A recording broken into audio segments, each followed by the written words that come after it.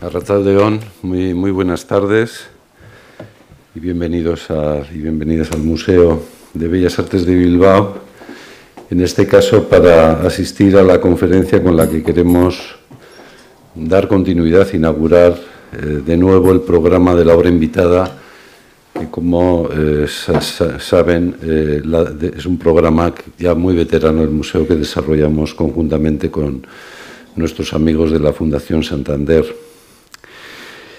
En este caso no es una obra la que nos convoca ni dos ni tres, sino cuatro magníficas pinturas que reunió en vida eh, Carmen Marañón, hija del doctor Marañón, esposa de Alejandro Fernández de Araoz, y hoy, gracias al generoso gesto de, sus hijos, eh, madre querida y recordada. No hemos dudado en dedicar la sala M, madre del alfabeto del museo, a esta pequeña casi exposición invitada que muestra por primera vez al público de forma conjunta el maravilloso tríptico de la pintura española que compone la, colección, formado por obras señeras de El Greco, Velázquez y Goya, y con ellas el precioso retrato de juventud que le dedicó Ignacio Zuloaga con un cariñoso a Carmencita Marañón. Si Carmen Marañón fue el nexo de unión de esta extraordinaria colección de arte que ahora presentamos, Zuloaga lo fue de los protagonistas que explican su reunión. El retrato de Carmen surge sin duda de la amistad del pintor con su padre, el doctor Marañón, al que dedica varios retratos a lo largo de su, de su vida como testimonio de su cercanía y admiración.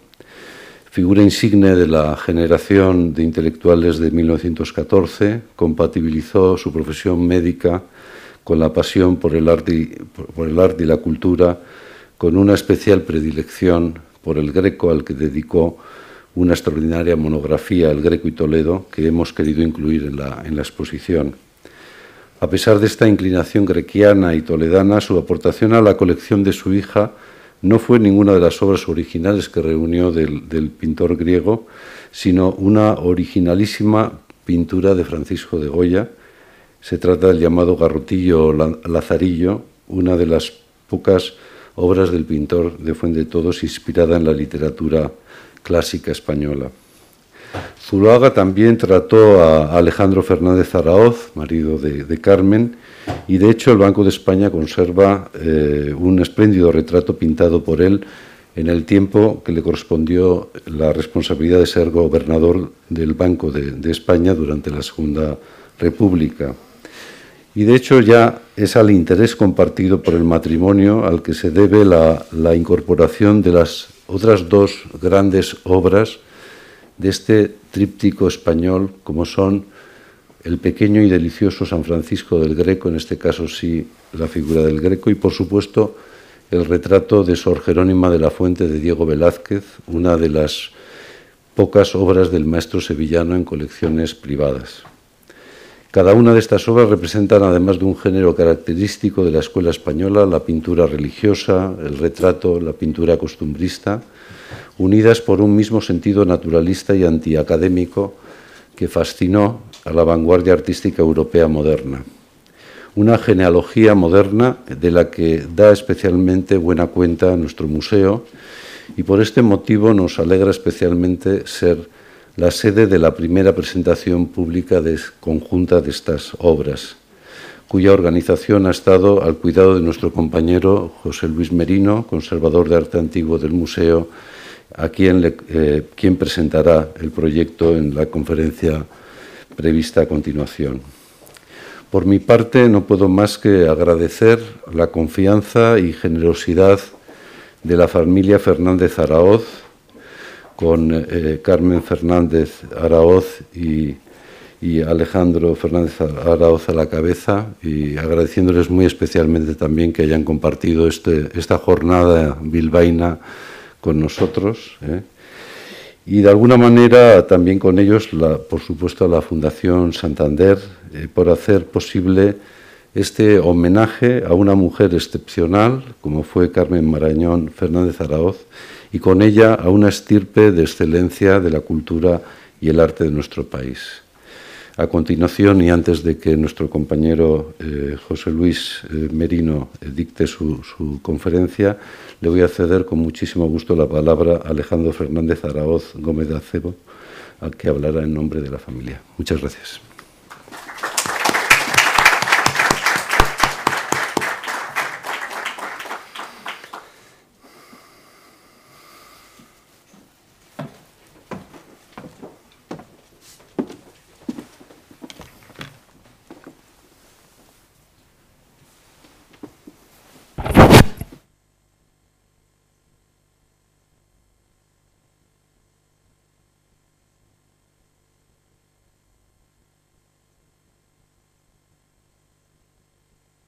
Buenas tardes a todos.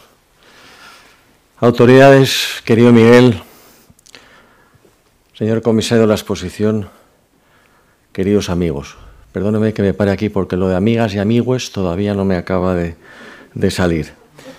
Me llamo Alejandro Federadoz y me han pedido mis tías Carmen, Dolores y mi padre, que son los propietarios de esta colección, que les dirija unas palabras en representación de nuestra familia, cosa que hago con enorme satisfacción y con gran alegría. Hoy es un día grande por nuestra familia, para nuestra familia poder compartir esta colección hecha a lo largo de muchos años de, mi abuela Carmen. Yo no les voy a hablar de los cuadros, tenemos una magnífica presentación que hará el profesor Merino Gorospe a continuación de mi, de mi pequeña intervención y permítame que quizá comience con unas pinceladas biográficas de lo que fue mi abuela, lo que fue su vida, su trayectoria y qué le llevó a hacer esta, esta estupenda colección. Era una mujer muy especial muy inteligente, refinada, culta, elegante, con un sentido de la estética bárbaro. Y eso hizo de ella que fuera una persona singular, única, con una enorme bondad, una enorme humildad. Y eso, aunque no había nacido en Bilbao, nació en Donosti, ¿eh? que tampoco, tampoco está mal. Pero, pero desde luego si hubo algo en su vida que le, que le generó un orgullo discreto y modesto era esta, esta modesta colección de cuadros que construyó a lo largo de su vida con mi abuelo Alejandro.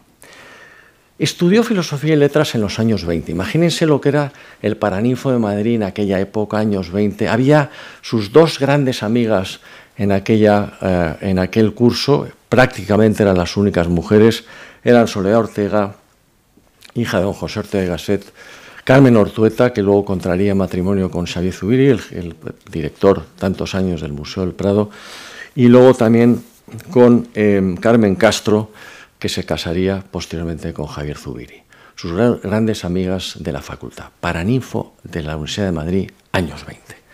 Creció y vivió, y esta es una clave fundamental para poder entender su trayectoria, bajo la sombra de un gigante, perdóneme que lo diga con esas palabras, al que adoraba, que era su padre, el doctor Aurelio Marañón.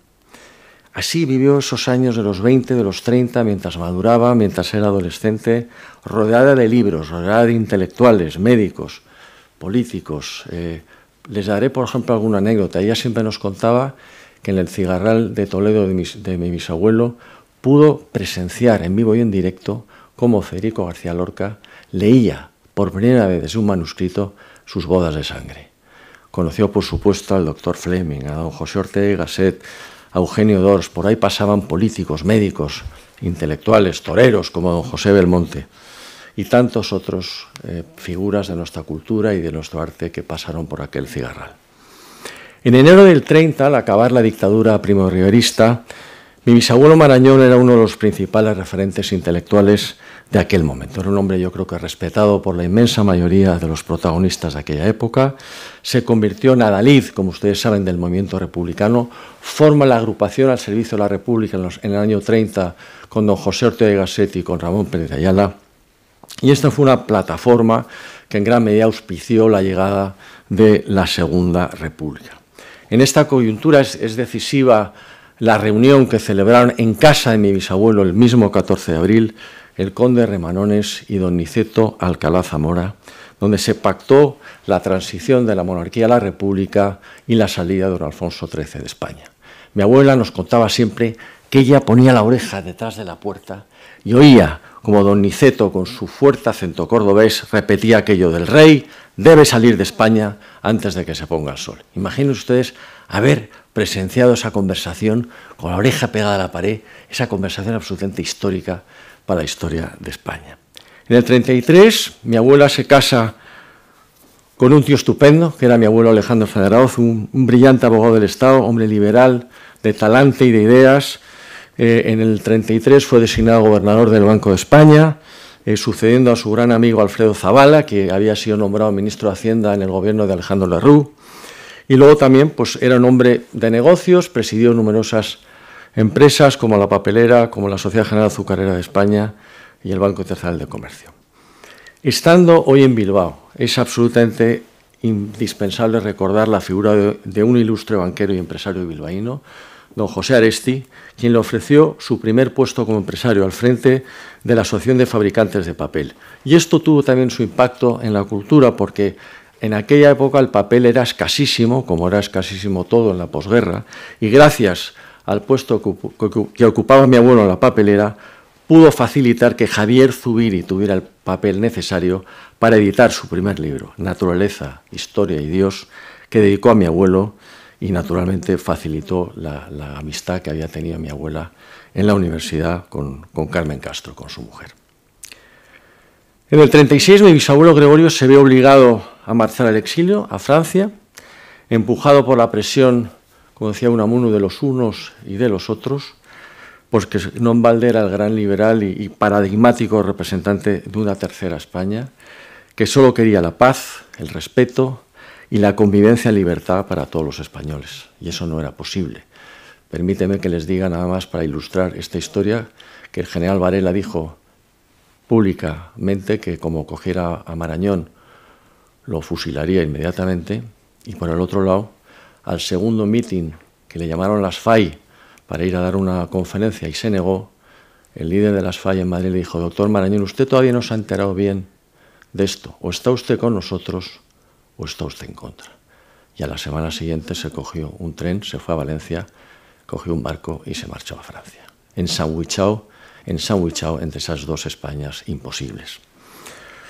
A finales del 36 se marchan a Francia mis abuelos, Alejandro y Carmen, acompañados por sus dos hijas, mi tía Carmen que está aquí de pequeña, para tratar de acompañar eh, a sus padres. Y recuerdo una extraordinaria fotografía que tenía mi abuela en su habitación, cogida de mi abuelo, de mi bisabuelo Marañón con un sombrero estupendo en la Place de l'Etoile en París y mientras tanto se veía a una división de la Wehrmacht desfilando por los campos elíseos. Años ciertamente difíciles y oscuros de guerra y de exilio. Mis abuelos permanecieron en París hasta finales del 37 cuando regresaron a España para que mi padre pudiera nacer en este país y nació en Donosti también. Mi abuelo Alejandro retomó poco a poco sus cargos en las diferentes empresas en las que estaba, inspiró en buena medida la vida editorial y económica de mi bisabuelo, logrando un gran acuerdo con Espasa Calpe para que se publicara toda su obra médica y literaria. Y por otra parte, mi abuela siguió con su compromiso con la cultura. Eh, recuperó junto con mi abuelo Alejandro la reconstrucción del cigarral de menores toledano de mi bisabuelo, donde era su casa de fin de semana, donde escribió gran parte de su obra, que había quedado seriamente dañado en la guerra civil. Había una batería republicana en, uh, en el cigarral y entonces pues se, se, bombardeaban desde Toledo, desde el Alcázar, para y, el pobre cigarral había quedado hecho una pena. Eh, mi abuelo pudo financiar la reconstrucción y a su regreso del exilio Marañón se lo agradeció con la dedicatoria impresa de su célebre libro Antonio Pérez en recuerdo a la reconstrucción del cigarral de menores.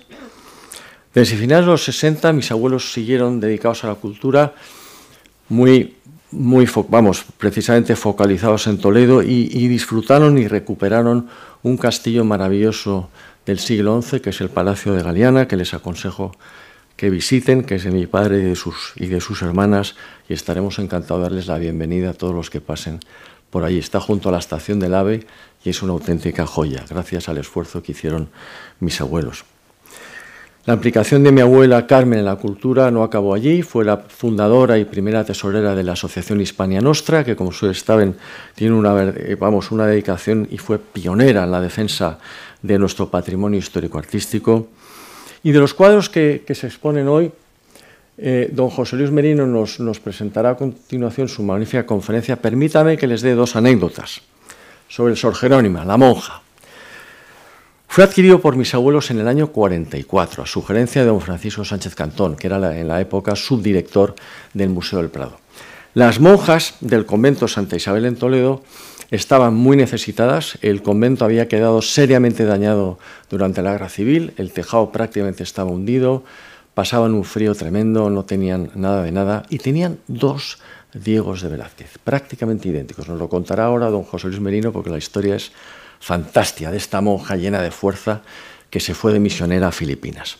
El Prado compró el que a juicio de Sánchez Cantón era el primero, el primero que pintó el joven Diego Velázquez con 21 años, y le llamó a mi abuelo y dijo, Alejandro, si tienes dinero, ¿por qué no te animas si se lo compras a las monjas? Te van a pedir una pasta, pero, pero inténtalo. Y efectivamente, llegó a un acuerdo con las monjas, les compró el cuadro y lo divertido fue que en el momento que firmó y les pagó el dinero, subió al cuadro a la vaca del coche, lo envolvió en una manta zamorana de un Chrysler que tenía que funcionaba con gasógeno y se lo llevó para Madrid. Imagínense, la monja envuelta en una manta zamorana en la vaca del coche de, Toledo a Madrid. Por eso, pues, en la familia le hemos considerado siempre un poco a Sor Jerónima como una, como una parienta. Y en cuanto al Lazarillo de Tormes, al, cuadro de, Goya, el doctor Marañón tenía una gran amistad con el marqués de Amurrio. Y además era su médico de cabecera y el de su esposa. Cuando ella cayó gravemente enferma, el doctor Marañón la atendió con gran dedicación y cariño.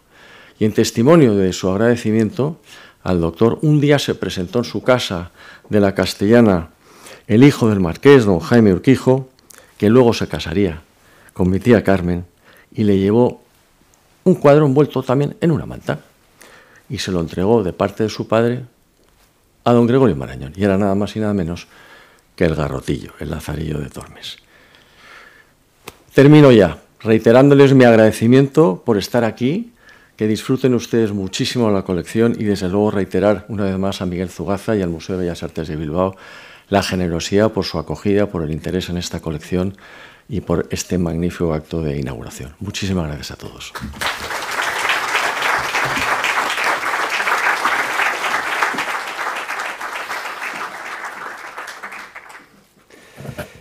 Buenas tardes, Racha León. Bueno, lo primero que tengo que decir es que para mí es un gran privilegio poder presentarles estas tres obras magníficas de un magnetismo y un atractivo muy poderoso que están reunidas por primera vez eh, para que el público las, las pueda contemplar y tenemos la suerte de tenerlas aquí en nuestro museo en la sala M de Madre.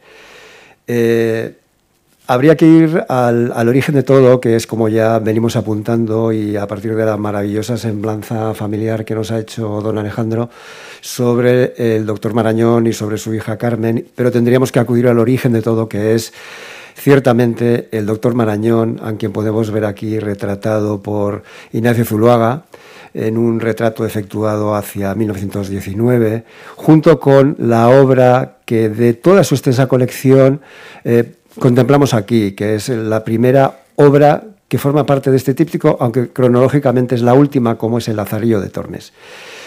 Eh, esta obra eh, fue eh, donada o fue transferida por el primer marqués de Amurrio a Ignacio Zuloaga, de quien eran grandes amigos. Hay que bueno, poner como referencia siempre a Zuluaga como trasfondo artístico de toda esta relación familiar y todo este grupo de intelectuales que eh, a comienzos del siglo, del siglo XX él consideraba como sus amigos y que representó en este cuadro que nunca acabó, que lo pintó entre 1920 y 1936, en el cual retrata, en el centro vemos, a, vemos al doctor Marañón, quizás de los que están más acabados, junto con otros intelectuales de la época, como pueden ser Pablo Baroja, eh, Pablo Uranga, perdón, Pío Baroja, Blasco Ibáñez, el propio Unamuno que estaba en Francia en ese momento está representado aquí con una pajarita porque era aficionado. Tenemos un, hay un retrato, existe un retrato de, Solana, de Unamuno, en el que aparece también con las pajaritas. Y en definitiva vemos eh, al propio eh, Ignacio Zuluaga autorretratándose arriba a la izquierda, emulando al propio Velázquez, en las meninas, viene a ser una composición muy semejante. Y como telón de fondo nos encontramos con el Apocalipsis del Greco, que era una obra que ahora mismo está en el Metropolitan de Nueva York, pero que formaba parte de la colección de Zuloaga. Eh, este es un momento eh, en el que está eh, el de la crisis de, la monarquía de Alfonso XIII, que daría lugar a la dictadura de Primo de Rivera, para terminar en la, tercera en la Segunda República. Finalmente con la dictadura del general Franco. es un momento en el que bueno, pues tenemos este grupo de intelectuales que se ha venido a llamar la generación del 14 y entre los cuales el doctor Mayor fue una figura destacadísima. Eh, lo cierto es que, bueno, pues, eh, es muy bien conocido sus estudios sobre endocrinología, que, era el campo, científico en el que él desarrollaba su, profesión. Se dice que incluso fue uno de los pioneros de la gerontología, eh, pero tuvo una intensa labor ensayística. Uno a veces se pregunta cómo pudo darle tiempo a hacer tantas cosas mm, y a practicar tantas disciplinas es una de las personas, de las primeras personas que además de los primeros científicos que tuvo en cuenta la teoría psicoanalítica de Freud, con la que no eh, compartía, no la compartía, pero realmente fue de los introductores de las teorías de Freud.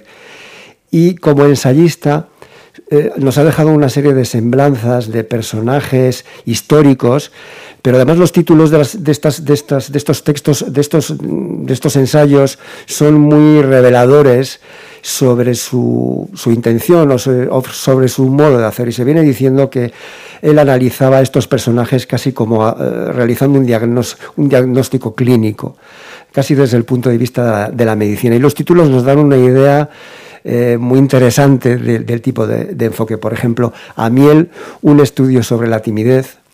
El Conde Duque de Olivares, La pasión de mandar. Tiberio, Historia de un resentimiento.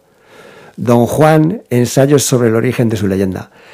Eh, en la exposición, bueno, como ya se ha mencionado, eh, elogio y nostalgia de, Toledo, que también, y en la exposición tenemos el Greco y Toledo, abierto precisamente por la página en la que vamos a ver que se reproduce el San Francisco del Greco que tenemos en la exposición. Es un documento que es muy interesante y complementario. Aquí lo vemos retratado en un retrato eh, de Sorolla, dedicado también a él, de 1920, y en otro de Wilfredo, de Wilfredo Lam. Y aquí, junto con Benigno de la Vega Inclán, el segundo marqués de la Vega Inclán, creador del Museo y, Casa del Greco en Toledo, con quien entabló amistad y que yo creo que es el responsable de la afición del doctor Marañón por el Greco y el responsable de la colección que llegó que llegó a, formar no solo del Greco, sino de otras obras de la época del siglo XIX. Aquí, por ejemplo, tenemos una de las obras que le cedió eh, el, marqués de Vega Inclán, concretamente este Tres Ángeles, que podría ser un boceto o podría ser quizá un fragmento de una obra perdida. Eh, se me ha ocurrido compararlo con nuestra, nuestra Anunciación del Greco y vemos que tiene muchas semejanzas con uno de los grupos de ángeles. Lo hago con nuestra anunciación, dado que es un cuadro que tenemos en la colección, pero realmente si vemos a una de sus versiones del bautismo de Cristo, vamos a encontrar que es una, es una réplica exacta de, esos ángeles. Es por esto por lo que eh, podemos pensar que, que, puede ser un fragmento de, un, de, otro greco perdido. Eh, también le regaló este, esta miniatura, eh, que es un retrato de Francisco de Pisa, que mide tan solo 9 por 6 centímetros, aquí la ven ustedes ampliadísima, y que eh, se atribuye al Greco y que se supone que está pintada hacia 1600. El marqués de Vega Inclán la había conseguido en 1907 y se la regaló al doctor Marañón. Y finalmente el propio doctor incorporó a su colección de pintura del Greco este maravilloso Cristo que se sale un poco en cuanto a colorido, sobre todo del colorido que estamos acostumbrados a ver en el Greco, y es que se trata de una pintura al temple sobre tabla que está pintada muy prematuramente, por decirlo de alguna manera, hacia 1570-75. Y es curioso cómo buceando en los archivos y en los fondos documentales nos vamos a encontrar con tres fotografías en blanco y negro del año 57 en la fototeca del Ministerio de Cultura, en la cual se recogen estos tres cuadros eh, y se indica que la propiedad de el doctor Marañón. Se recogen con títulos variopintos en ocasiones, como se recogen eh, otros cuadros, como por ejemplo este de eh, Esquivel, este retrato de caballero. Hay que, hemos eh, hecho una labor eh, documental cruzando información de la fototeca del Ministerio de Cultura, pero también de documentos de la Junta de Incautación durante, durante la guerra, cuando, se, bueno, cuando muchas obras se, sacaron de España para, protegerlas, muchas obras concretamente incluso del Museo del Prado.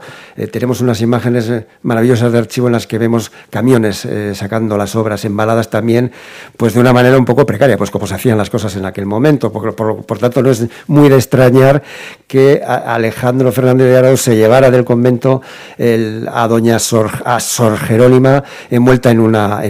una manta y en la vaca de su coche, es algo que no es nada chocante.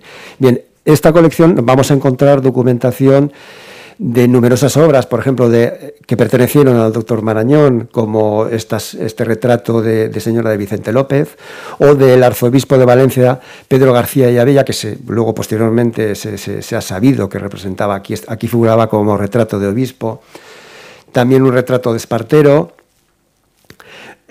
o un retrato de hombre de Roberto Domingo o una escena militar de Marcelino Unzeta.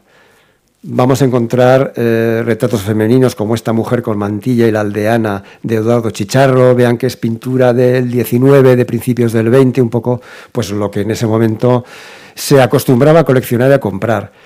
Eh, una gitana de Julio Moisés, unos campesinos de Fernando Álava de Sotomayor y este maravilloso retrato de mujer de Romero de Torres que además está dedicado al doctor Marañón. Vamos a encontrar también pequeños paisajes como este eh, niño con patos de Navarro Llorens o este pequeño de, de Sorolla en la parte inferior, de Casimiro Sainz, paisajes de Pradilla, por último de Gonzalo Bilbao. En fin, yo les estoy sacando aquí una, eh, una, pequeña selección. Hay algunos dibujos, porque revisando todo el inventario de todas las obras que salieron, que recogió la Junta de Incautación, encontramos infinidad de grabados, de objetos, eh, de, objetos de arte, eh, de pinturas, de pinturas que simplemente se identifican como un paisaje, entonces en cierto modo es difícil de reconstruir, pero el número de obras es bastante elevado. No se me ha ocurrido contarlas, pero es un número muy elevado de obras.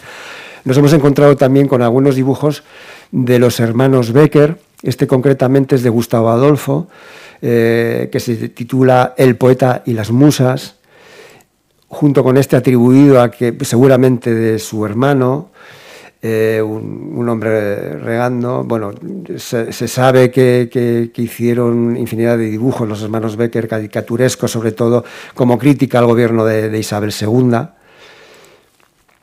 Y luego también este magnífico relieve que posteriormente se ha atribuido a Alonso Berruguete, es un relieve en alabastro. Este episodio de la Revolución de 1854, La Vica Alvarada, en la Puerta del Sol, de Eugenio Lucas Velázquez, y sobre todo eh, una de estas obras a la izquierda, la que perteneció al doctor Marañón, Las vitrinas y el visitante, y a la derecha, ambas obras son de Gutiérrez Solana, y a la derecha las vitrinas. Eh, la versión de la derecha es la que se conserva en el Reina Sofía, que es ligeramente mayor de tamaño, pero es una obra verdaderamente singular. Son obras de 1910, verdaderamente importantes dentro de la producción de Solana. O este, Una monja, de eh, Sorolla, que también está dedicado. Y curiosamente nos encontramos con esta fotografía, que no es ni más ni menos que Goya curado por el doctor Arrieta. Y es una fotografía que no aparece como una obra de propiedad del doctor Marañón, sino como un encargo. La toma fotográfica aparece como un encargo del doctor Marañón, probablemente motivado por el interés médico de, este, este, de este cuadro que recoge bueno, pues la asistencia del, doctor Arrieta eh, durante la grave enfermedad de Goya en 1820, que es posiblemente tifus. En el fondo vemos un grupo de mujeres que se han interpretado como las parcas y debajo una inscripción que dice Goya agradecido a su amigo Arrieta por el acierto y esmero con que le salvó la vida en su aguda y peligrosa enfermedad padecida a finales del año 1819 a los 73 años de su edad. Le pintó en 1820. Bueno, prueba de los intereses artísticos y médicos del doctor Marañón, y, como no, una fotografía de El Lazarillo de Tormes, que venía conociéndose también como el garrotillo. Este nombre de garrotillo proviene de eh, la, enfermedad de la amigdalitis que ocasionaba la difteria, que, ocasionaba una inflamación de las, eh, de las glándulas que podían que en último término daba lugar al ahogo y, de ahí garrotillo que hace referencia al garrote vil que es la muerte provocada por, por asfixia. En definitiva, nos encontramos con el doctor Gregorio Marañón, entre cuya extensa colección de arte, con esta faceta tan interesante del doctor, eh, contó con el Lazarillo de Tormes de Goya, que lega a su hija Carmen. Aquí vemos a Carmen eh, en un retrato de Ignacio Zuluaga dedicado a Carmencita, eh, lo cual indica el grado de, amistad y de relación de las familias. Y lo podemos ver además en la, exposición. Hemos decidido traerlo presidiendo la exposición. Eh, es un retrato verdaderamente delicioso. Se nos presenta a, Carmen Marañón vestida a la moda y peinada a la moda de la época, es inconfundible. Eh, con, un, con, un, vestido tipo kimono que se llevaban mucho en esa época. Este, este cuadro está eh, pintado en 1931. Eh, Carmen tenía 19 años. Y la vemos aquí, como digo, vestida con un bonito collar de, los que se, estaban muy de moda en aquella época, que estaban fabricados con, con acetato, con baquelita, lo mismo que, un, broche posiblemente de, coral. Al de dos años, eh, Carmen se contrajo matrimonio con Alejandro Fernández de Araoz, eh, que fue parlamentario eh, durante la Segunda República y fue gobernador del Banco de España. Junto con Carmen, junto con su marido, reunieron las otras dos obras que forman parte de la exposición, Sor Jerónima de la Fuente de Velázquez y el San Francisco del Greco, y aquí podemos verlas en una fotografía que me han cedido sus familiares en la, casa Fernández de Araoz Marañón. Y finalmente Carmen eh, reunió este tríptico de obras maestras de la eh, pintura española, siempre orbitando como, como nexo artístico, como ya se ha ido diciendo, Ignacio Zuluaga, eh, puesto que retrató a todos los miembros de la familia y puesto que tuvo una relación muy estrecha con, ellas, con ellos. Aquí podemos ver a Gregorio Marañón, concretamente con Ramón Pérez aquí, con quien junto con Ortega y Gasset, es con quienes fundarían ese mismo año, el año en el que retrató, o poco antes, el año en el que fue retratada Carmen, la agrupación al servicio de la República, que eh, era una agrupación que pretendía dar un soporte ideológico a la República, formada por un grupo de intelectuales como lo eran es por esto que tenemos ahora la oportunidad de ver aquí, como decía antes, este tríptico, estas tres obras magistrales que reúnen casi tres siglos, eh, tres estilos magníficos y, primordiales en la historia del arte español, como pueden ser manierismo, barroco y neoclasicismo. Y eh, ya enlazando con, o comenzando con, cada una de, estas obras, la más, eh, cronológicamente la más antigua sería el San Francisco del Greco. Es una obra, mm, no es de un gran tamaño, mide 50 por 40 centímetros. Y en el reverso podemos leer, que es lo que nos da la pista verdadera del origen de este, de este cuadro. Esta efigie de nuestro padre San Francisco la dejó a esta comunidad don Lucas de Montoña Uruñuela, síndico que fue de ella por espacio de 40 años, Madres Capuchinas de Toledo. Bueno, yo he intentado buscar a, este Lucas de Montoya, la verdad es que no, he conseguido eh, documentarlo. Yo creo que es una labor de investigación que habría que hacer. El convento, el convento de Capuchinas es el que se conoce ahora mismo como el de la Purísima Concepción. He ampliado aquí y he tratado un poco la imagen para que la puedan ustedes ver. Pero lo cierto es que este, este cuadro ya eh, salió del convento, de este convento de capuchinas en 1927 para participar en la, una exposición franciscana, se denominó así, que se celebró para celebrar el 700 aniversario de la muerte de San Francisco, de la muerte de, tal y como reza la introducción de nuestro seráfico eh, San Francisco. Y efectivamente eh, lo vamos a encontrar he resaltado aquí a la derecha en el índice de ilustraciones, porque además va a aparecer ilustrado, vamos a encontrar en primer lugar el San Francisco, pero la sorpresa para mí fue mayúscula cuando además me encontré referenciada la Sor Jerónima eh, de Velázquez, que participó, que participó en, la misma, en la misma exposición. Claro, lógicamente, las clarisas son la, la rama femenina de la orden de los franciscanos. Por tanto, este es el motivo de que estuviera allí. Podría haber estado como tantas otras obras, pero estuvo. Eh, participaron otras obras de San Francisco, lo que se, de, perdón, del Greco, otros San Franciscos del Greco, lo que, se, lo que se explica porque el Greco produjo una cantidad ingente de obras representando al santo. Lo tenemos aquí, incluso con el hermano León en varias de las versiones. Y curiosamente también, eh, anecdóticamente, en esa misma exposición me he encontrado con este maravilloso zurbarán al que en la fotografía se le pone el pie de foto de San Francisco Hamlet, que perteneció a la colección Beruete y con nosotros hemos tenido en este, en este museo recientemente porque de la colección Beruete pasó a la colección Valdés. Entonces, de hecho, ha estado también aquí este San Francisco, lo utilizamos además como imagen de la exposición. Fue también una sorpresa bastante emocionante encontrar esta documentación de esta exposición franciscana que yo creo que revisándola a fondo puede dar muchas buenas sorpresas.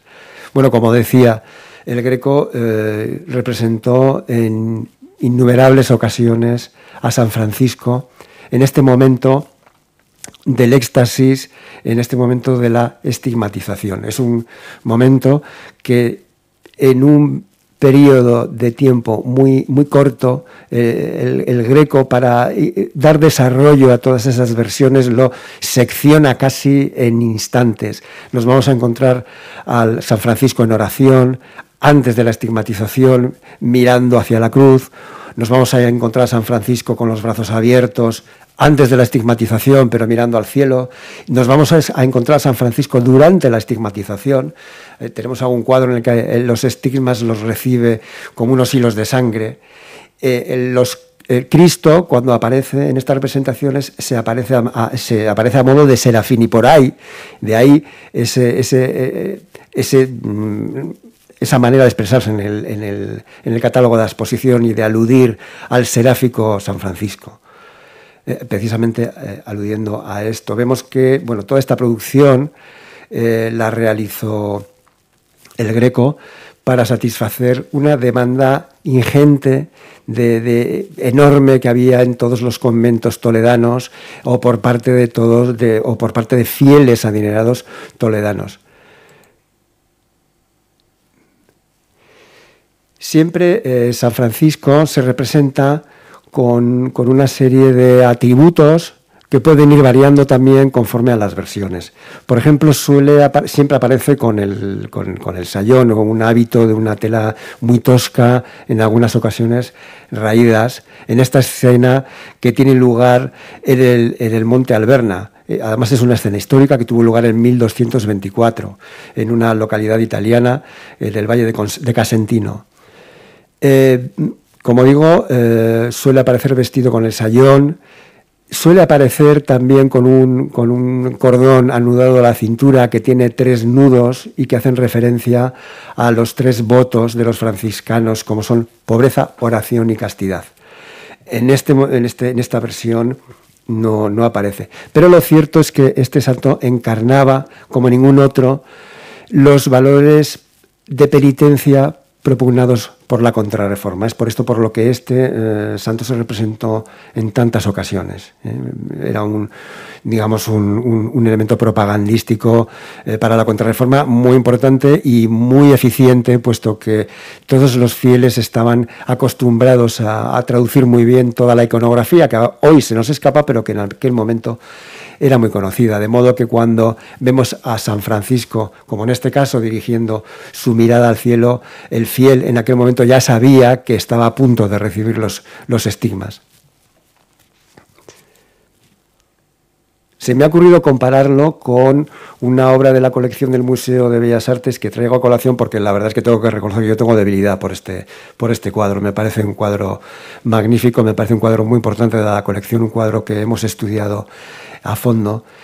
Y bueno, se me ha ocurrido, aunque son cuadros sobre todo de formatos diferentes, eh, se me ha ocurrido ponerlos en relación puesto que ambos tienen una relación, una relación estilística y técnica muy próxima y que recoge todos los rasgos más característicos eh, por los que conocemos muy bien a Greco y por los que cuando nos aproximamos físicamente una obra del Greco y la vemos muy de cerca o incluso la podemos estudiar con los medios técnicos de que disponemos, simplemente con unas macrofotografías, vamos a distinguir una serie de rasgos técnicos que son inconfundibles. Y esto hace que las versiones de primera mano del Greco se diferencien de una forma bastante sencilla con respecto a las de los seguidores, quizá más difícilmente con respecto a obras de intervención del taller.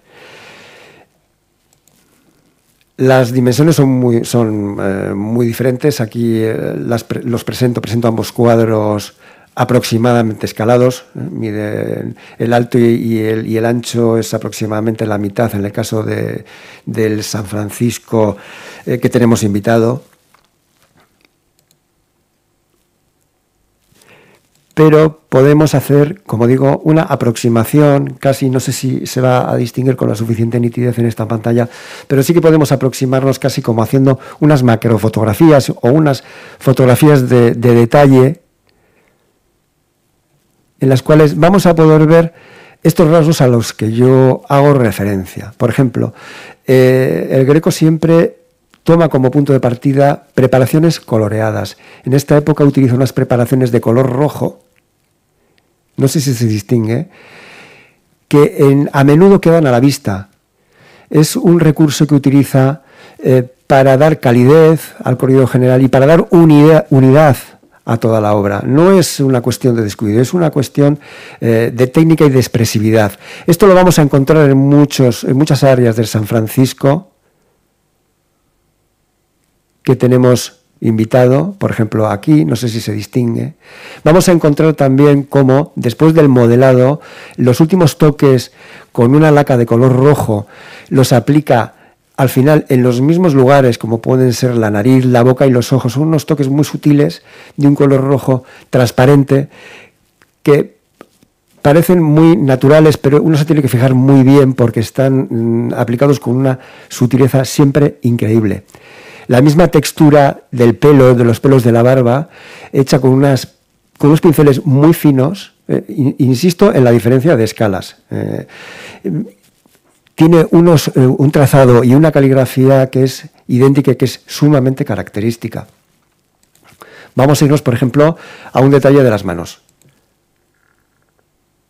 Y yo lo que me he permitido es a la versión del Museo de Bellas Artes darle la vuelta para que se pueda comparar cómo están resultas de una forma completamente idéntica, no solo en el dibujo, que es algo relativamente fácil de reproducir, sino en la técnica, es decir, las pinceladas, por ejemplo, para los últimos brillos de, para los últimos brillos de las uñas, o todo el contorneo realizado alrededor de los dedos, alrededor de la mano, para reforzar el efecto de relieve y de claroscuro. Y esto es un retoque que el greco hacía siempre al final. Es decir, técnicamente partía, como mandaban los cánones, de las sombras, iba aplicando una sucesión de capas de color para ir iluminando, pero en último término reforzaba las sombras de esta forma tan característica, redibujando todo el contorno, de modo que lograba así un, un, efecto muy expresivo y un efecto de relieve sumamente interesante y sumamente veraz, a pesar del dibujo tan estilizado y tan especial del Greco, que no es precisamente un dibujo naturalista. Otro detalle del Sayón, en el San Francisco de Bilbao, a la izquierda, eh, debido a la escala, vemos que utiliza pinceles, pero es que casi se puede distinguir el ancho de los pinceles por la pincelada, porque está aplicada con una soltura y una frescura increíble, pero con una pincelada muy extendida va como entretejiendo y va como eh, trazando la textura del tejido. Lo hace de forma parecida en el San Francisco que tenemos eh, como invitado, únicamente que utiliza pinceles mucho más finos, pero técnicamente está resuelto de la misma manera. Vamos a ver una serie de toques, por ejemplo, en estas zonas, para las texturas de los bordes que están hechos de una manera muy característica y resueltos de una manera singular y única. Y últimos, esas últimas pinceladas de pintura de color gris oscuro negro que refuerza la textura, el efecto de textura casi táctil del tejido. Vemos aquí perfectamente lo que comentaba eh, al principio, como hay áreas en las que se ha dejado la preparación de color rojo sin pintar. Esto da una impresionante frescura, en, algunas ocasiones da, puede producir un efecto de inacabado, pero es algo que es completamente voluntario en, la técnica de este artista. Y tenemos aquí eh, la, como no, la calavera con el Cristo, que son también, están resueltas también de una forma completamente afín, aun salvando las distancias del tamaño. Fíjense, por ejemplo, la, el trazado entre las piernas del Cristo, como es semejante para diferenciarlas. Este Cristo está pintado y está resuelto húmedo sobre húmedo. Eh, es decir, modela y construye hasta el final con la pintura siempre fresca. Probablemente es de los últimos detalles del cuadro que realizó. Y vemos precisamente que por eso se repite técnicamente que ambos están pintados de la misma manera, resueltos con los mismos recursos. Lo mismo vamos a ver que este en la parte superior del brazo eh, está también reforzado, como comentaba antes, con unos tonos más oscuros y vemos que también nos vamos a encontrar con zonas sin pintar de la preparación, aquí se ven claramente, en nuestro San Francisco en esta área no tanto. Y aquí tenemos la calavera, en este caso eh, he girado el, San Francisco eh, invitado, lo he, girado, me he tomado la libertad de girar la, calavera para poderlas comparar y ver cómo son prácticamente idénticas y cómo están resueltas técnicamente y construidas casi de la misma manera. Hay que, hay que recordar cómo Antonio Palomino, en su tratado El Museo Pictórico y Escala Óptica, escrito entre 1715 y 1724, que es un, documento sobre todos los pintores españoles anteriores importantísimo, habla en términos sumamente despectivos del Greco, es decir, no es un pintor al que considera en sus palabras extravagante y ridículo. Eh, dice de él que tiene un colorido desabrido y un dibujo descoyuntado. Bueno, en cierto modo, eh, sí, podemos mm, reconocer que el colorido del Greco en algunos cuadros es un colorido muy, muy sobrio y muy, muy, muy austero.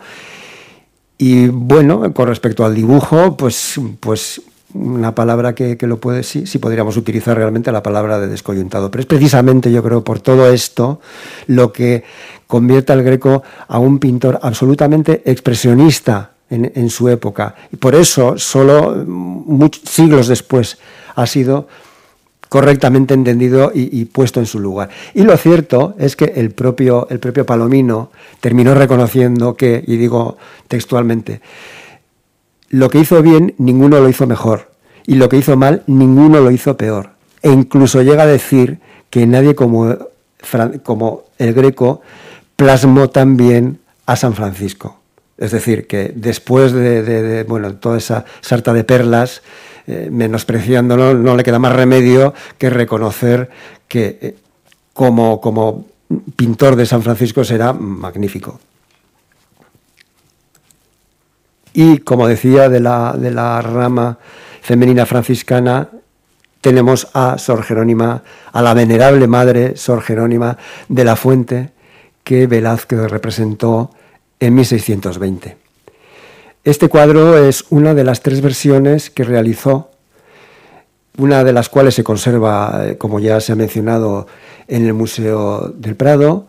Hay otra versión en una colección particular, pero que eh, es, eh, puede ser un cuadro que esté cortado porque es de medio cuerpo, o quizá en algún momento se ha apuntado que podría haber sido una versión preliminar o un boceto.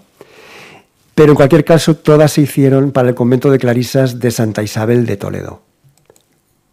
Aquí, en esta inscripción que es apócrifa, eh, se explica muy bien, y me voy a permitir leerla, la tengo aquí transcrita, porque quizá no se distinga bien, pero es muy interesante. Y dice, este es verdadero retrato de la Madre Doña Jerónima de la Fuente, religiosa del convento de Santa Isabel de los Reyes de Toledo, fundadora y primera abadesa del convento de Santa Clara de la Concepción de la primera regla de la ciudad de Manila, en Filipinas. Salió a esta fundación de edad 66 años. Martes 28 de abril de 1620 años. Salieron de este convento en su compañía la madre Ana de Cristo y la madre Leonor de San Francisco, religiosas, y la hermana Juana de San Antonio, novicia, todas personas de importancia para tan alta obra. Todas personas muy importantes, pero verdad que verdaderamente era importante y la que se mereció el retrato fue Sor Jerónima, como podemos ver. Sor Jerónima nació en Toledo el 9 de mayo de 1555 e ingresó como novicia con 14 años en el convento de Santa Isabel de los Reyes. Eh, y fue a Filipinas en 1620 para fundar, como bien, dice, eh, bien ha dicho esta leyenda, el primer eh, convento de de su orden en Manila. Eh, murió diez años después. Eh, partió con 65 años y para que nos hagamos una idea, eh, el viaje embarcó en Cádiz y el viaje duró un año y dos meses. Hagamos una idea con 65 años y en aquellas circunstancias, lo que pudo ser ese viaje y la determinación tan firme que, que bueno, que queda tan patente y tan clara en este propio retrato.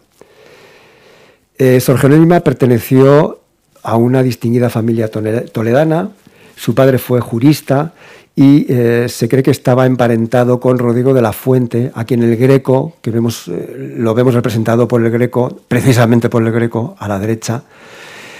y además es un médico al que Cervantes en la Ilustra Fregona menciona diciendo que es el médico más famoso de Toledo.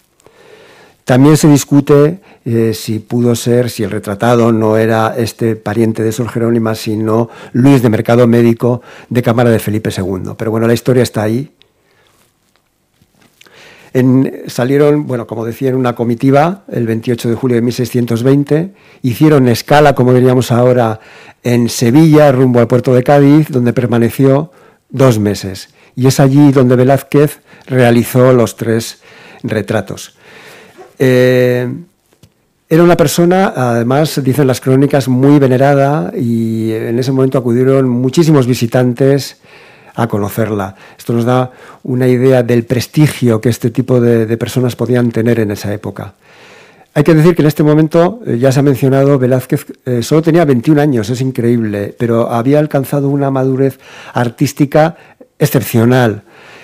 Eh, en este momento está eh, el, estilo, digamos, que, impera. Bueno, se había formado con Francisco Herrera el Viejo, estuvo muy poco tiempo con él, porque parece ser que Francisco Herrera tenía un carácter durísimo, imposible, y luego pasó como aprendiz con eh, Francisco Pacheco.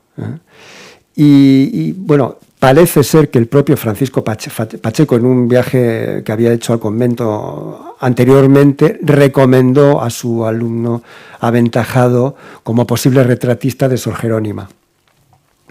Este, este encargo eh, realmente mm, yo creo que fue muy importante para, para el Greco porque era jovencísimo y, y, sin embargo la trascendencia que podía tener, dado el carisma de Sor Jerónima, pues bueno, verdaderamente podía tener una trascendencia luego en su, en su carrera. Eh, como decía, eh, es un cuadro que es absolutamente claroscurista. Está resuelto además con una eh, paleta cromática muy sobria, pero además con una economía de medios todavía increíble, ya que prácticamente utiliza pigmentos de tierra. Son cuadros ambos que están muy bien estudiados desde el punto de vista técnico. Y bueno, técnicamente hay una serie de diferencias técnicas importantes en, ambos cuadros, pero quizá es importante reseñar en la utilización casi exclusiva de tierras incluso para las carnaciones. Utiliza muy pocos pigmentos rojos, una ligera proporción de vermellón, un poco más en el, en el cuadro que tenemos invitado con respecto al cuadro del Prado.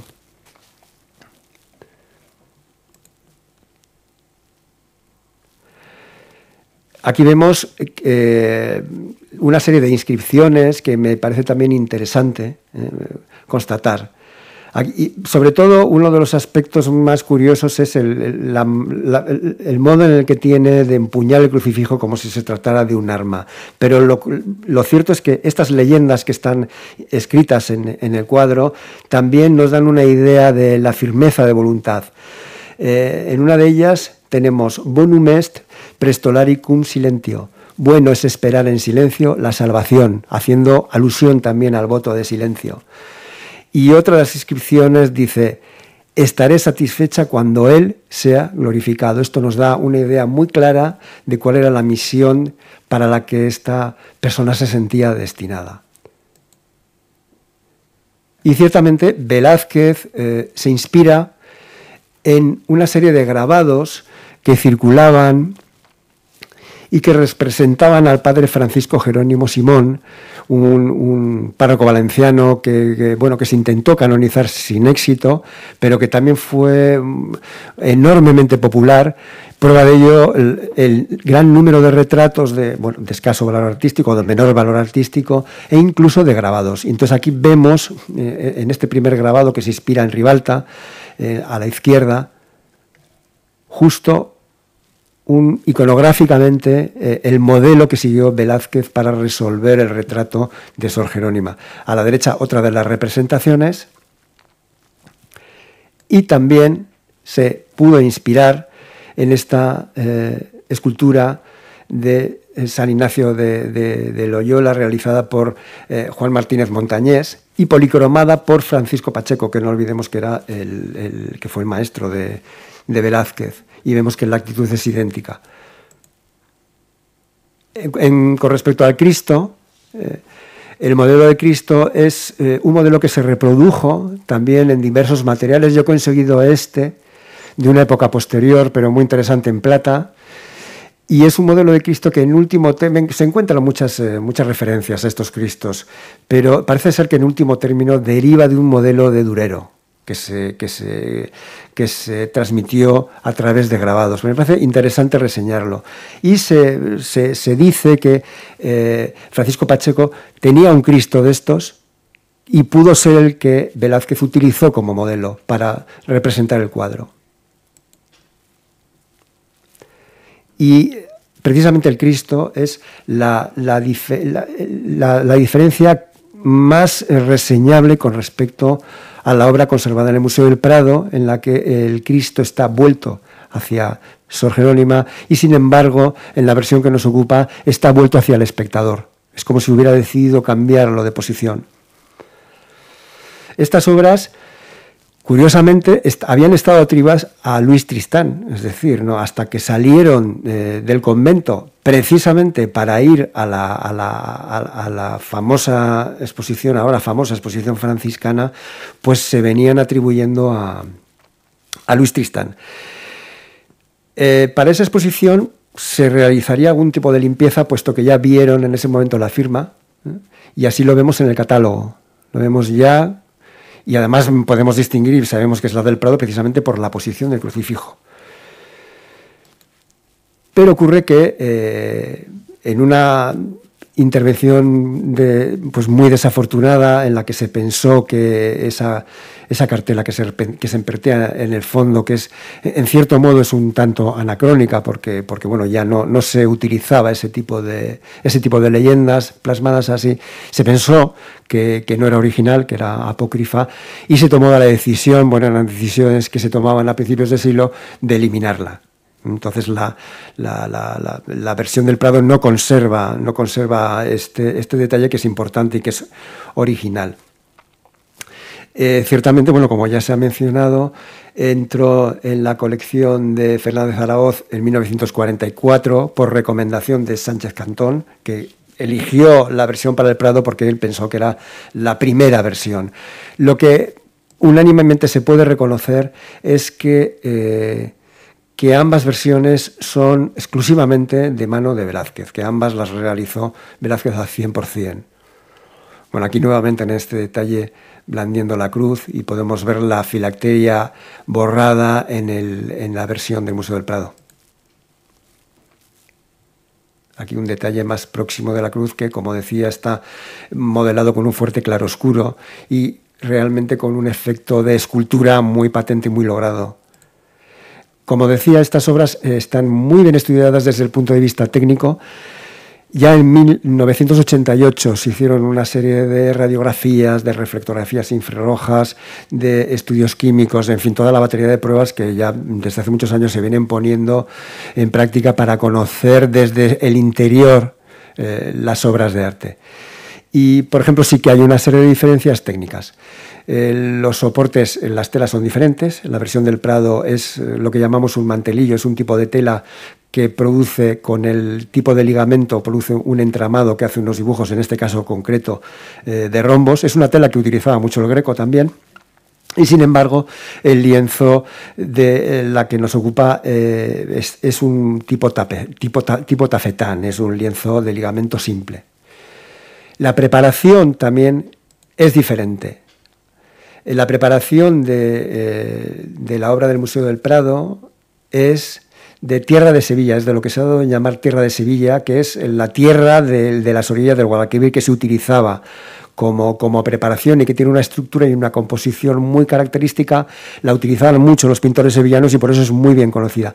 Sin embargo, la segunda versión vemos que tiene eh, dos estratos diferenciados, uno de un color más, eh, más amarillo, más amarillo, más blanco, más, más, claro, y luego una imprimación de un color eh, a base de tierras más rojiza. Y coincide este tipo de preparación con unos retratos que realizó Velázquez algo posteriores, como son este de Felipe IV, que acabo de mostrar, o este del infante Don Carlos. Eh, cronológicamente son inmediatamente posteriores. Y otra de las diferencias que comentaba es la, menor proporción de vermellón en la versión del Prado, porque solo se han detectado trazas en el caso de las carnaciones, que es un pigmento muy recurrente para resolver eh, los tonos de la piel. La densidad radiográfica es también algo diferente. Vemos que la imagen de la izquierda, la, imagen de la radiografía es muy definida y es algo más difusa en, la imagen de la derecha, cosa que yo creo que tiene mucho que ver también con la composición de la preparación, que suele influir de forma importante, incluso eh, con el tipo de tejido. ¿Mm? Eh, se dice, se viene diciendo que en la segunda versión la técnica es más directa, y un detalle que es muy diferenciador y es como eh, el contorno de Sor Jerónima en la versión del Prado se ve como con un halo blanco y esto es un redibujado con un eh, material con una alta densidad eh, radiográfica como es el blanco de plomo. Se ve que repasó el contorno de la figura para redefinirla, Velázquez, y finalmente lo cubrió con el color de fondo de la preparación. Esto es apreciable solo en la radiografía, eh, no se puede ver al natural. Y sin embargo, en la segunda versión no, es algo que no lo podemos detectar. En cualquier caso, haciendo un recorrido sobre la caligrafía y sobre la pincelada, verdaderamente son dos obras que están resueltas de una forma absolutamente idéntica. Sería, vamos, no es propósito eh, plantear que pueda haber una intervención ajena en, la segunda, en lo que se considera la segunda versión. El modelado, como decía, que, realiza Velázquez es casi escultórico del rostro. Yo creo que esto lo podemos apreciar si nos aproximamos en este tipo de fotografías a gran escala. Y además no, no, tiene, no, hay, no hace ninguna concesión, no en ningún momento eh, dulcifica la expresión de la mujer ni hace alguna mm, alusión a su feminidad.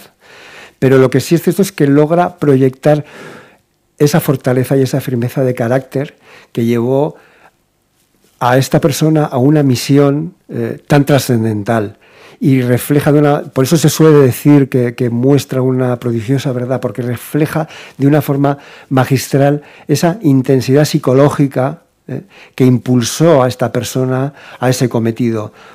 Fíjense en esa mirada que no nos mira a nosotros, no mira a quien le está retratando, sino que es una mirada hacia la lejanía. Está, yo me la imagino pensando en la misión que tenía que cumplir, que cumplir y en todo el trabajo que tenía por delante, y para lo que ella se sentía verdaderamente destinada. Yo creo que es un retrato absolutamente increíble por todo esto. Pero tenemos que avanzar ahora un poco más, y igual además me estoy alargando, avanzar en el tiempo para llegar al Lazarillo de Tormes. Esta obra además tiene una historia eh, interesantísima, como la mayoría del arte antiguo, que cambia numerosas veces de manos. Esta obra le correspondió al hijo de Goya, Javier Goya, en herencia al morir su madre, y además aparece en el inventario de bienes que realizaron en 1812. Aparece con el número X25, aludiendo, la X aludiendo a Xavier, aludiendo a Javier. Todos los cuadros de Goya que tienen esta, esta inscripción, algunos posiblemente la hayan perdido, pasaron a manos de Javier Goya. El hijo de Goya eh, se la vendió a Luis Felipe de Orleans, al rey de Francia, a través del barón Taylor en 1836 y pasó a formar parte de su colección, de la extensa colección de casi 400, casi 400 obras de pintura española que además se expuso en el Museo del Louvre. Y, pero son una serie de obras que, bueno, que cuando el rey fue destronado se dispersaron. Concretamente, eh, el Lazarillo de Tormes se vendió en Christie's en 1853 por la modesta suma de 10 libras. Y lo compró, viene a colación, la Galería Colnaghi, que precisamente está ahora un poco en el candelero, puesto que es la que está eh, gestionando todas las operaciones con el supuesto Caravaggio que, bueno, que ha salido a la venta recientemente en España. Tiene, tiene gracia encontrarnos a Colnaghi ya, que ya sabíamos que operaba, pero en relación con este cuadro. Eh, después la compró el duque de Montpensier, hijo de Luis Philippe, que lo legó eh, al abogado familiar en 1867. Y nuevamente en 1902 aparece en otra colección, en la colección Mago, que la vendió en Burdeos en 1923 y fue adquirida por el primer marqués de Amurrio, a quien vemos aquí retratado nuevamente por Zulaga. Eh, hay una curiosa anécdota además con respecto a este retrato, y es que parece ser que la tarifa de Zuluaga por retratarle, que eran 90.000 pesetas, le parecía muy elevada. Y entonces habló con el doctor Marañón y parece que, eh, bueno, entre todos ajustaron un poco el precio. La cuestión es que quizá también por esto eh, Zuluaga conocía el, Lazarillo de Tormes, como vamos a ver. Aquí encontramos cómo eh, en registros de la Junta de Incautación encontramos cómo salió de España para protegerlo, salió de España y se fue a Ginebra con un buen número de obras del Museo del Prado.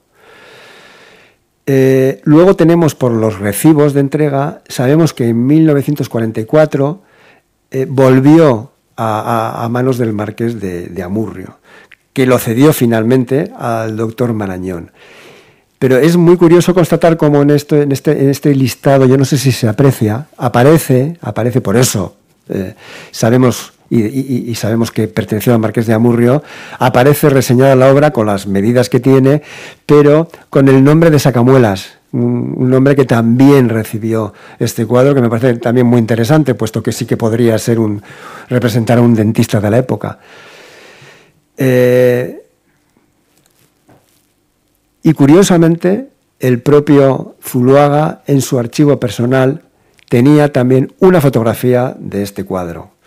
Eh, toda esta labor documental, la verdad es que eh, me, ha ayudado muchísimo eh, Javier Novo, mi compañero Javier Novo, puesto que, como ustedes saben, comisarió recientemente la exposición sobre Ignacio Zuluaga y realmente tiene una información documental increíble que nos ha venido muy bien, además, en esta ocasión y que ha venido muy, muy casualmente, pero ha venido muy relacionada con todo lo que estamos hablando.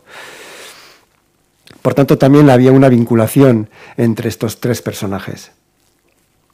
Bueno, como, decía antes, eh, aquí eh, un detalle de la inscripción X25 que alude a la obra que heredó Javier, eh, al inventario de 1812 y a la obra que heredó Javier, Javier Goya. en ese momento estaba valorado en 100 reales. Luego vendría a conocerse, como decía antes, como el garrotillo, posiblemente bautizado por el doctor Marañoz en, una interpretación médica eh, del cuadro. Y aquí en el catálogo de la exposición eh, en el Louvre, de la exposición de obras de Luis Philippe. Y además este catálogo también nos da una información muy importante, y es que eh, el cuadro aparece reseñado con otras medidas. Concretamente, aparece como unas medidas de 161 por 105 centímetros frente a las 102 por 83. Y es que todo parece indicar que este cuadro en algún momento fue cortado. Mi primera impresión al ver este cuadro eh, siempre me pareció que había un desequilibrio compositivo, puesto que teníamos mucho fondo en la parte superior y además las piernas de los personajes aparecen cortadas. Efectivamente puede tratarse de un cuadro que en algún momento eh, se cortó, originalmente podría tener estas medidas que además encajan con un grupo de obras que Goya pinta hacia en la misma época que tienen también un cierto contenido de crítica social, como son, por ejemplo, estas Majas en un balcón, o Maja y Celestina, o Las Viejas. Son todos cuadros datados entre 1810-12. Tienen otro rasgo en común todos estos cuadros, y es que Goya para hacer estos cuadros reutiliza eh, pinturas antiguas de otros pintores, las recicla. Estamos en un momento durante la guerra de la independencia en el que la crisis es terrible y Goya echa mano de este tipo de, material para poder, para poder pintar. Entonces vemos que he conseguido una mala fotografía de una radiografía de la obra y se ve, yo aquí he señalado para que tengan la referencia por si no se distingue bien, la cara, esta sería la cara del, mendigo y aquí la cara del niño y el cuerpo del niño, y se ven en medio de lo que anteriormente fue un bodegón. Entonces lo que he hecho ha sido darle la vuelta para que se pueda ver mejor y vemos aquí un grupo de flores, aquí vemos unos recipientes, no sé si, se distingue bien, otras flores, es decir, reutiliza aquí un jarrón también con flores, reutiliza un bodegón que posiblemente era un bodegón del siglo XVII. Habría que seguir estudiando bueno, los tejidos, etc. No he encontrado más documentación técnica sobre esta obra. Y aquí vemos, por ejemplo, en Magia y Celestina y Majas en un balcón como hace exactamente lo mismo y nos vamos a encontrar unas escenas muy elaboradas con un personaje central, con infinidad de personajes o de elementos que rodean, algunos vegetales. Eh, fíjense aquí eh, puesto la correspondencia de las caras para que las localicen, las caras de los personajes. Y aquí las viejas, donde hace exactamente lo mismo. He ubicado aquí también la cara porque en este tipo de imágenes igual es un poco difícil de, distinguir. Y curiosamente hay un grupo de grabados que son unas alegorías de los cuatro elementos de Adrian Collar que tienen una afinidad eh, temática y plástica con estas obras. Entonces probablemente eh, tendríamos aquí tres elementos, perdido el cuarto elemento, que utilizó, que pasarían por las manos de Goya, que utilizó eh, para, para realizar estas composiciones. Es puesto porque también en, algún, en alguna literatura he encontrado que a Lazarillo de Tormes se alude a él como a los cuatro elementos. Es que deriva de esto, deriva de, la interpretación de, estas radiografías. Esta sería la, que yo creo que se distingue, eh, que hace alusión al aire, yo creo que es la que mejor se distingue, que es en la que está pintada la Celestina, Eh, Goya no es, no es la primera vez que, representa tampoco este tipo de personajes grotescos. Los vamos a ver en los, en los caprichos. Eh, tampoco es la primera vez que representa a un ciego. Eh, esta escena recoge una escena de, la literatura española más universal, como es el Lazarillo de Tormes, que es el episodio en el que el niño roba y se come la longaniza que el ciego al que asistía estaba, estaba cocinando. Entonces el ciego, pues para comprobar si se la había comido o no ante la negativa del niño, pues huele el aliento, le abre la boca con los dedos y el niño finalmente devuelve la longaniza, le devuelve la longaniza en el sentido más amplio de, la palabra. Eh, sí se ha establecido una cierta correspondencia con estos grabados, por ejemplo, de los, de los caprichos, que son realmente muy grotescos y muy críticos. Eh, yo por mi parte considero que sí es un personaje bastante grotesco, em, bastante bueno, feo, el rostro es feo, pero yo entiendo que sí que lo trata con una cierta piedad. A mí no me parece que sea una expresión tan cruel como eh, la propia novela califica, como la propia novela describe a, este, al ciego de, magistralmente además. Como decía, no es la primera vez eh, que trata a un ciego con su lazarillo, sino que ya lo tenemos en uno de los cartones para tapices, en una versión idealizada. Es un ciego tocando la guitarra asistido por su lazarillo. Vemos que no tiene nada que ver las dos versiones. Y si nos damos cuenta, cuando eh, versiona Lazarillo de Tormes o versiona a esta Maja con Celestina, se está basando en dos novelas de la literatura española que era muy conocida a nivel popular. Es decir, se está haciendo, eh, está hablando a la gente de algo que conoce muy bien. Es además toda una crítica social. En el caso del Lazarillo es una crítica y en el caso de la Celestina, a la utilización de las personas por parte de las personas. En el caso del Lazarillo, a la utilización de los niños, al maltrato de los niños. Yo también he querido ver una, eh, una interpretación que me parece muy interesante de un. Bueno, estas interpretaciones son totalmente vigentes y son perfectamente válidas eh, en la actualidad y que derivan de la clarividencia de, de Goya. Pero Aquí vemos eh, también las celestinas en, los, en otros, eh, en otros eh, grabados de los caprichos. ¿Mm? Sin embargo, yo lo que creo también interpretar es una alusión a la crueldad de los franceses durante la ocupación en España y voy a ir un poco hacia atrás porque podemos ver aquí en las ascuas creo que simboliza de alguna manera eh, al pueblo español eh, invadido por los franceses, aquí en las Ascuas, que es donde, eh, donde el ciego estaba cocinando la longaniza. Y yo creo que de alguna manera Goya hilaba muy fino, como algunas de las viejas de sus, de sus caprichos, y yo creo que nos hablaba de muchas cosas en este cuadro, que es verdaderamente excepcional en su producción.